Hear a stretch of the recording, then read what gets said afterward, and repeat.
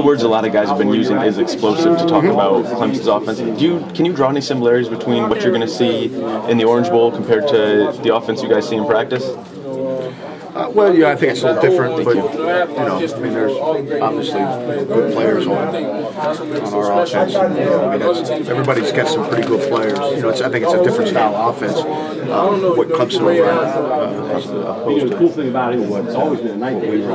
I, I got a chance to talk to a couple of Clemson guys. They said tempo was a big thing for them. Is that something you've noticed that, that they do try to play that up tempo game? And Yeah, and it's it's sometimes hard to see on film, you know, and that those are things that uh, you know, when you get in the game, you you see. But uh, obviously, you know, that's a that's a big part of everybody's game, really, for the most part. Just about college football. In fact, you got to be hard pressed to find somebody that doesn't do that, you know, than, than, than guys that, that, that do. So you know, it's all part of the game. Jeff, when you get to the BCS game level, everybody's got good offensive players, good defensive players. What do you think the difference is? Is it uh, who wants more, maybe turnover scheme? What do you think? Well, you know, I, I don't know about you know I don't know about those things. I know, I know it's tough. You're not sure what's going to happen when, you have a month layoff. Uh, you know, the kids are used to working in week increments. You know, and, and, and then you take and uh, you know we haven't practiced really for two weeks and off and on, and uh,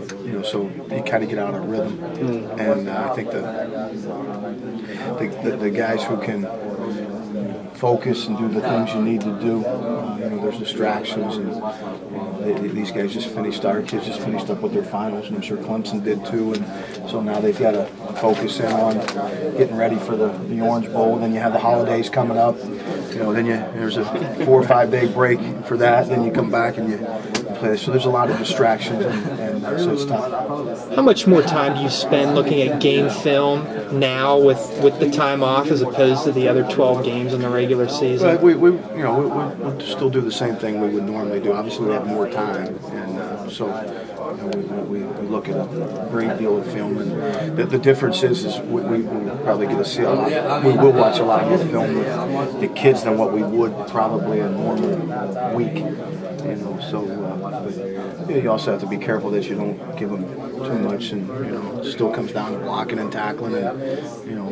that, that's that's who's going to win the game, and it takes care of the all the things, the basic things in football. That's, that's going to come down to. Can you uh, almost outsmart yourself with that much time? Because if they got, you've seen the tendency on the film, but they've got that much time to change it. Well, yeah, and, and, but you, you, like I say, you, you don't know what's going to happen. They'll, they'll obviously tweak some of the things that, that they do, and, and uh, you know, the same thing. But still comes down to, to the fundamentals and, and uh, playing them. Can you talk about the development of Najee Goode since uh, he first stepped on here as a freshman in 07? Yes, 07.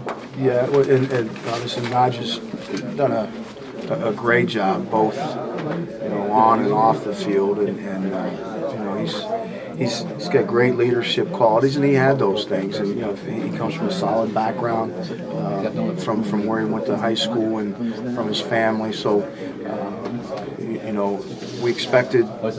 We had a good idea that Naj was going to be able to develop into a pretty good football player. And he, he's a guy that can run and, and he's strong and, and uh, you know, he's a smart kid. So uh, we're really not surprised about his development. And, and he's, but but he's he's gotten better each and every year. And he's really, you know, really done a nice job for us the last two years.